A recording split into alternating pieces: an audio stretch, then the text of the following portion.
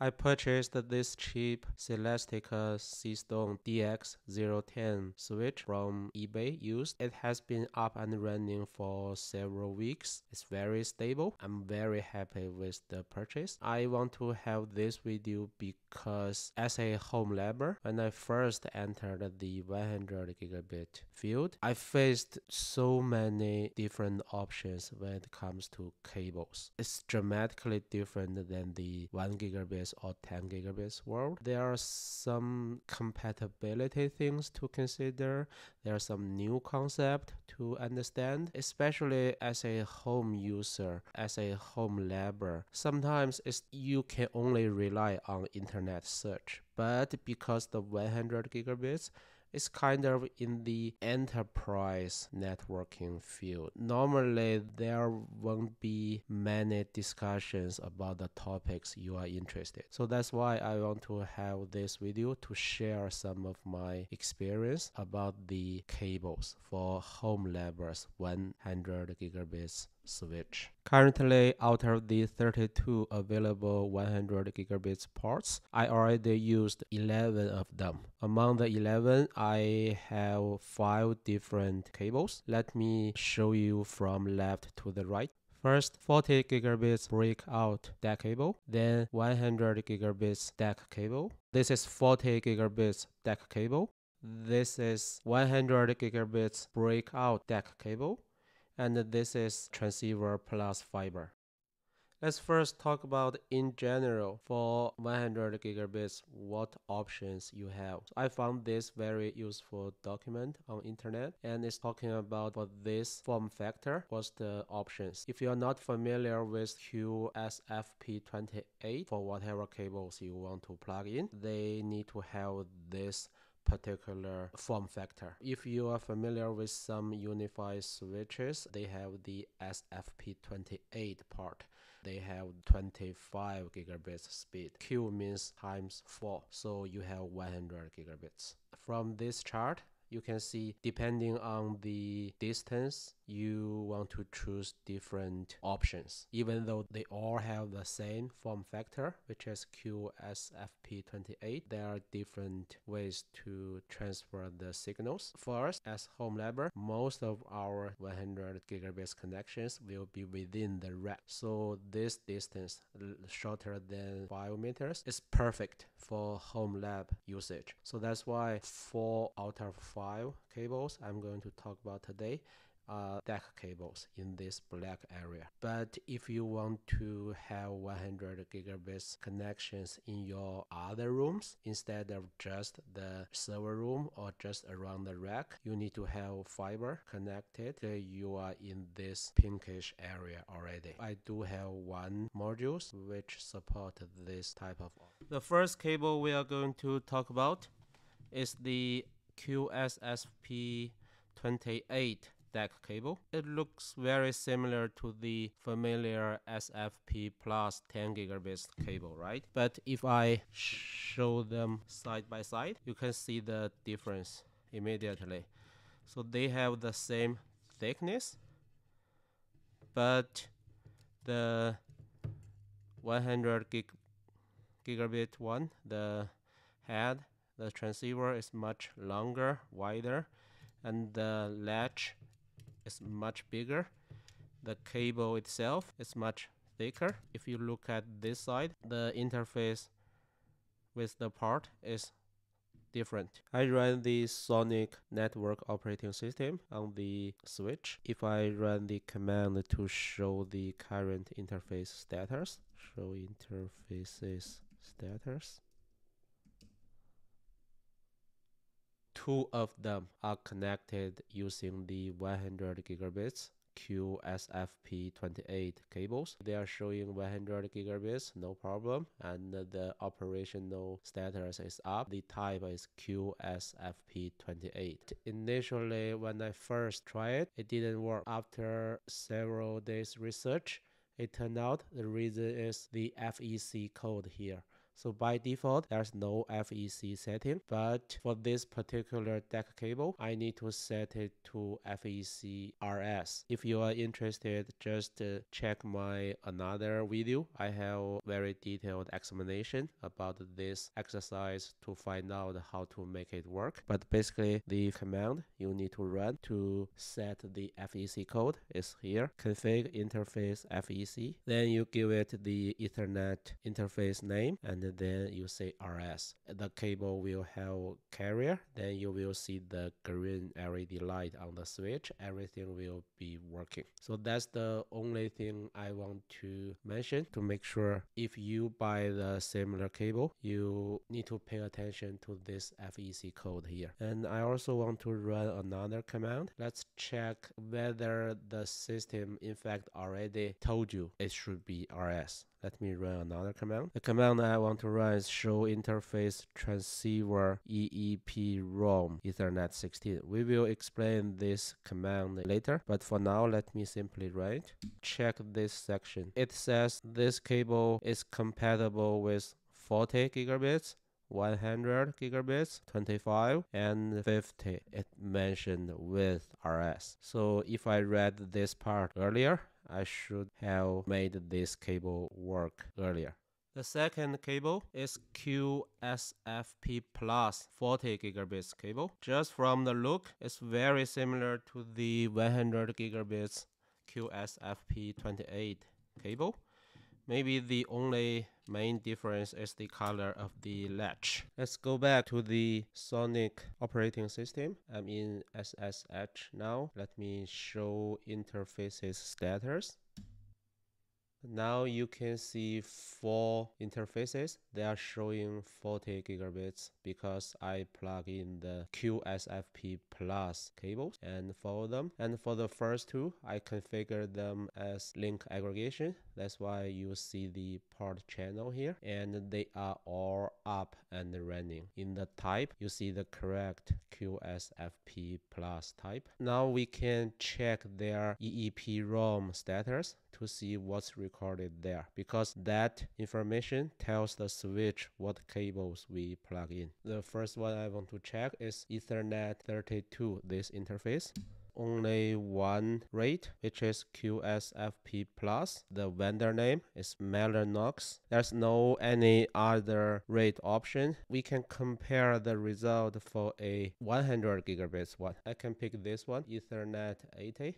Immediately you can see the difference here. For the 100 gigabits, it has additional information in the specification compliance section. It's compatible with multiple rate and here it says it works with RS. That's the major difference because you can use the 100 gigabits cable in many different scenarios. But of course, you paid a little bit more for 100 gigabits, but you only use it, for example, as 50 or 25 gigabits. That is more flexible. But for the 40 gigabits one, it doesn't mention any compliance information. If you go to Amazon when you purchase a 100 gigabits or 40 gigabits DAC cable, one a little bit, I would say, scary section for a home labber, especially if you are new to 100 gigabits like me, you will be scared about the compatibility section. Let me show you what I mean. For example, this is a 100 gigabits DAC cable on Amazon. It lists several vendors. If you are like me, you own a not so popular 100 gigabit switch, so you don't see your vendor here. Then what do you do? Right? Especially the cable itself is not cheap and you need multiple ones. You do not want to waste your time. So that's the very common scary thing for a new home labber like me. But the way I did was I chose Mellanox one. The reason was my NIC are all Mellanox. So that's why I chose this one. I remember I did purchase a Cisco one as well in the past. It worked just like Mellanox one, no problem. In my opinion, this part is not that important, especially if your switch is compatible with multiple cables and if your switch is not listed here. You know what? In fact, this compatibility information is written in the small EEPROM section on the transceiver. On the market, there are even devices. For example, this one, you can use it to write whatever data to the EEPROM. It's the same hardware, it's just depending on which vendor you choose when you place the order, they will write different EEPROM for you. In my experience, I tried multiple vendors, they all work the same. The next cable is an interesting one. In fact, that's one of the main reasons why I want to try the 100 gigabits switch in my home lab. Let's take a look at one end.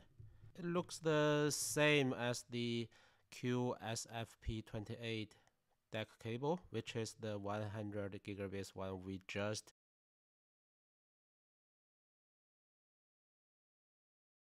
it has four 25 gigabits heads so it can connect to four different 25 gigabits devices.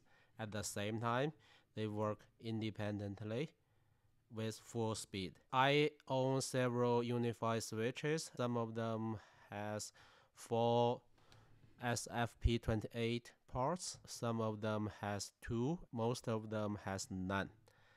But this cheap 100 gigabits switch has 32 times 4 SFP28 ports capability if I plug each part with this breakout cable.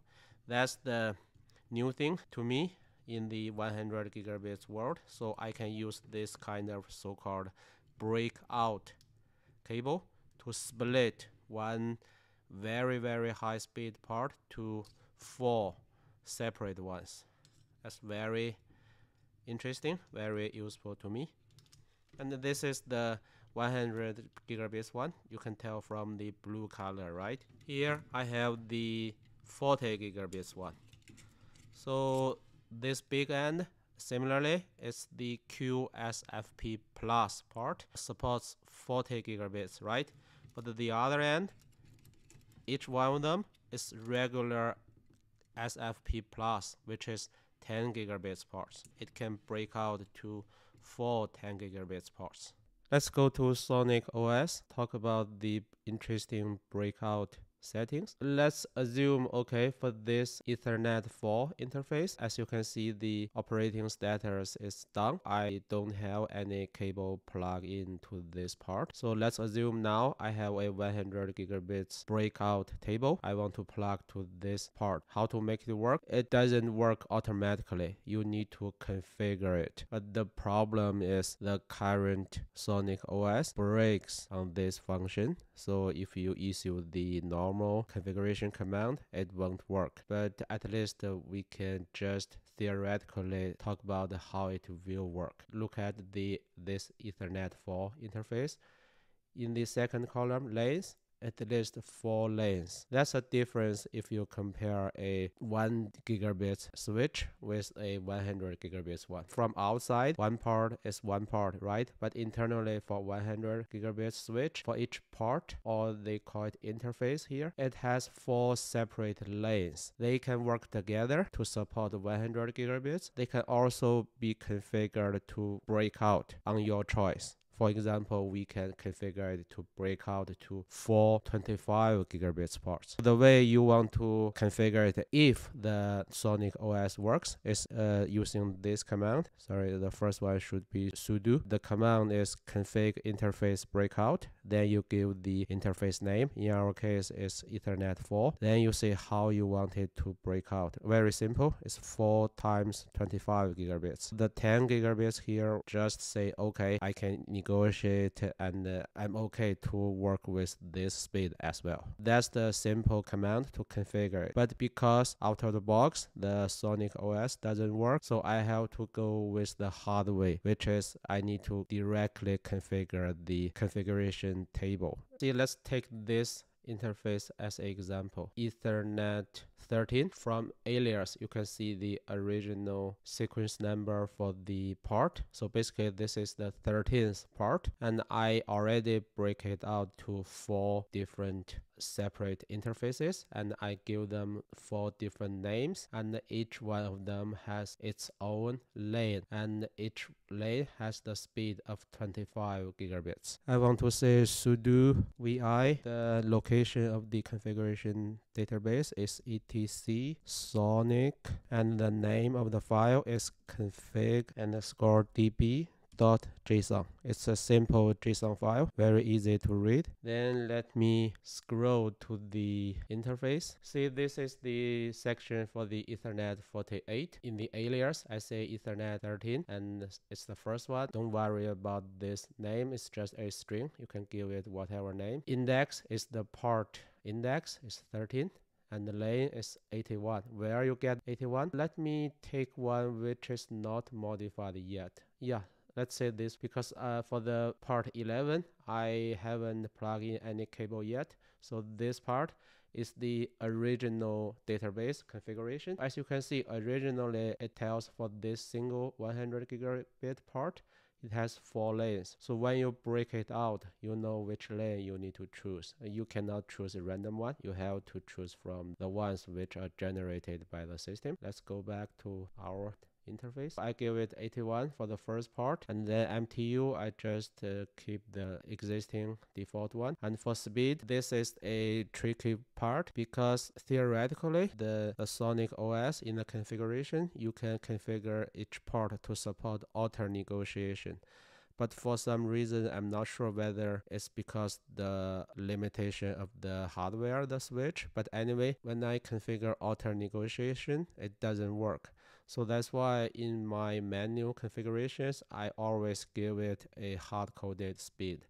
So for example, this one, I know my cable is 100 gigabits to 425 gigabits breakout cable. So that's why here I give it 25 gigabits. For the other three parts, 49, 50, and 51, they work the same way. So pretty simple. It's just pure text file, a JSON format. You save it, then reload the configuration, then it works. This is a example for 100 gigabits breakout. For the 40 gigabits one, the only difference is here in the speed section. For the 40 gigabits case, you want to give each separate part 10 gigabits instead of 25.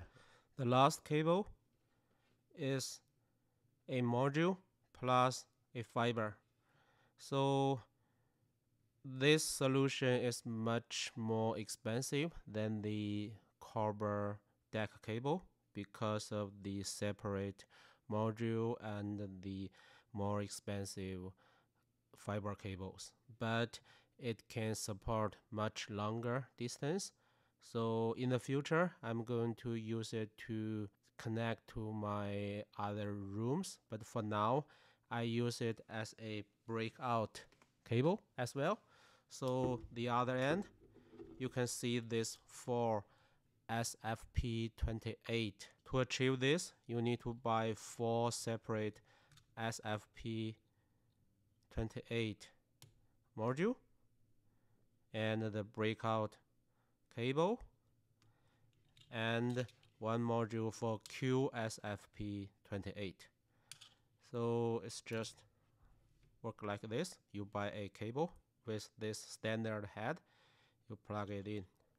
On the screen for the interface status, you can see eight of these interfaces are configured using those two cables. Four breakout for each module. The module is QSFP28 module. Let's check what's the difference from EEPROM perspective if we compare to a normal 100 gigabits DAC cable. Let me first show you the EEPROM information for the 100 gigabits DAC cable and then I'm going to run it for the fiber module.